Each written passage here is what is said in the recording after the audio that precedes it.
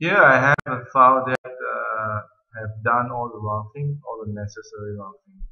So next step is apply finishing. So here I'm going to show you how to apply a parallel uh, parallel surface milling. So I I will go just highlight this and I will apply template. So you can download the template from the website. And so let's say I will use the zero degree parallel finish. Okay. So this function is this one. Uh, it is the surface milling, finish milling all.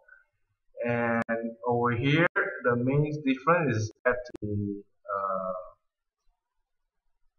tool trajectory. So over here you can choose uh, whether you want to have a parallel cut or spiral cut or layer cut or helical cut. A lot of different uh, cutting strategies. So now we just look at the parallel cut. And of course the, the cutting mode, uh, whether you want a climbing or conventional or mix. Uh, if you choose climbing, that means the cutter will cut on one direction, so they will there will be a lot of jump. Uh, you can try later. So normally for this we use a mix so that the cutter can go towards and backward without any jumping. And this is of course a, a horizontal step of the of the cutting, the pitching, and milling an angle. So I'm putting angle zero now. Okay, and just calculate and here's the result. As you can see uh, the surface milling uh, is not good for those uh, 90 degree wall. We are cutting 0 degree. Those 90 degree wall the pitching is very big. So this is not good okay? Uh, some of you might uh, try to change the angle right? To 45 for example let me change to 45 45 and let's change the parameters the angle to 45 and calculate. Okay here's the result.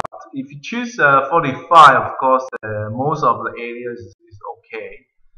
Uh, only at those area minus 45 a small area that you need to uh, touch up, still need to touch up, but the amount is not that uh, much. Uh, this is 45 degree. One thing regarding 45 degree, uh, let me pause and show you the G code.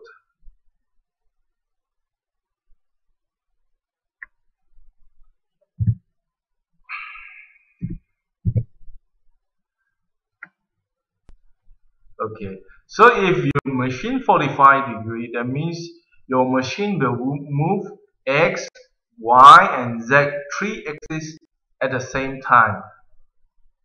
Okay, three axes at the same time.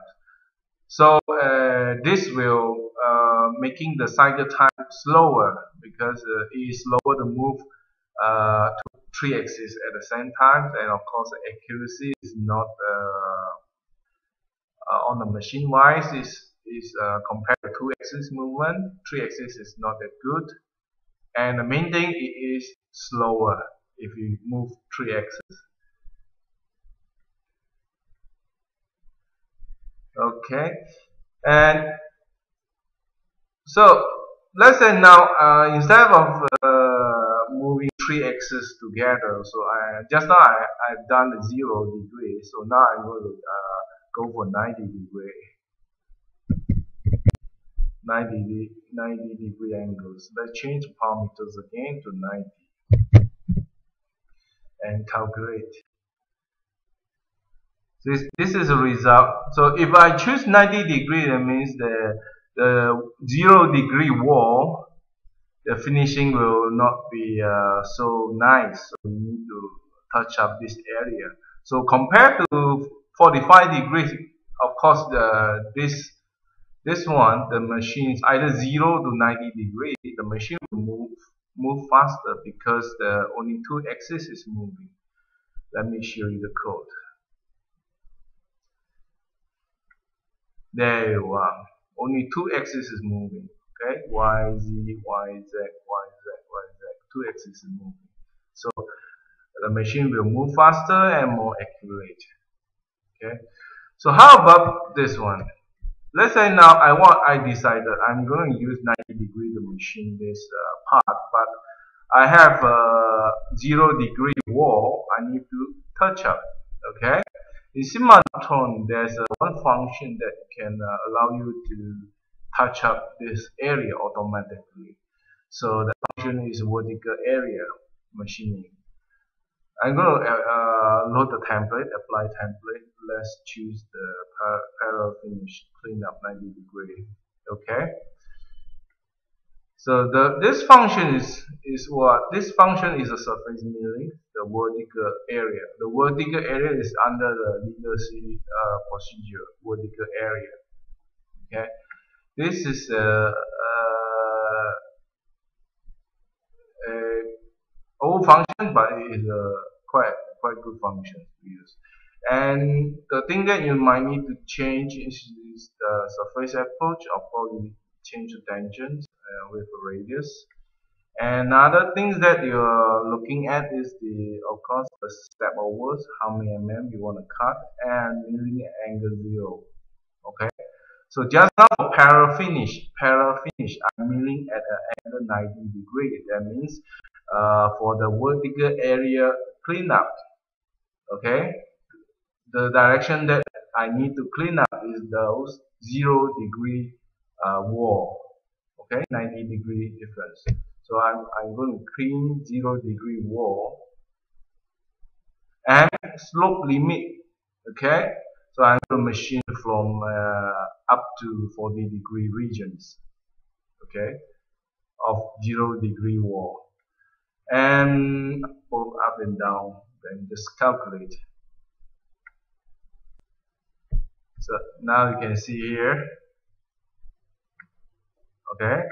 This vertical area process will automatically search all the zero degree wall and cut until a region of 40 degree. Okay. You can use a navigator to check yeah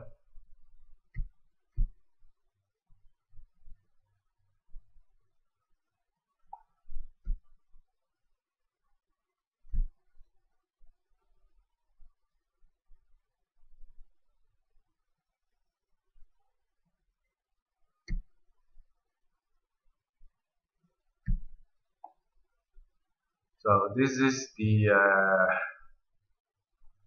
finish strategy.